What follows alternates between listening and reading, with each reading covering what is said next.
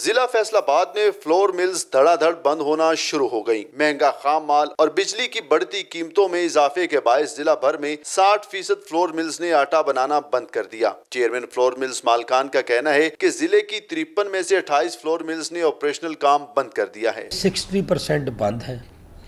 Government की जो नामनासब policy है उसकी वजह से। और बाकी 24 25 26 फ्लोर मिल्स चलती हैं। उसमें से भी जो समझें कि दस बारह आधी फ्लोर मिल हैं, वो वो सही चल रही हैं। बाकी बस अपने आप को ज़िंदा रखा हुआ है आईसीयू में। फ्लोर मिल्स मालकान का कहना है कि पैदावारी लागत बढ़ने के बायस फ्लोर मिल्स को चलाना नामुमकिन हो चुका है। आटे की एक बोरी बनाने पर बिजली के पाँच यूनिट सर्फ होते हैं। बिजली की कीमतें बढ़ने के बायस मुनाफे की शरह कम हो गई है, जिसके बायस मिल्स को खसारे में चलाने से बेहतर बंद करना है।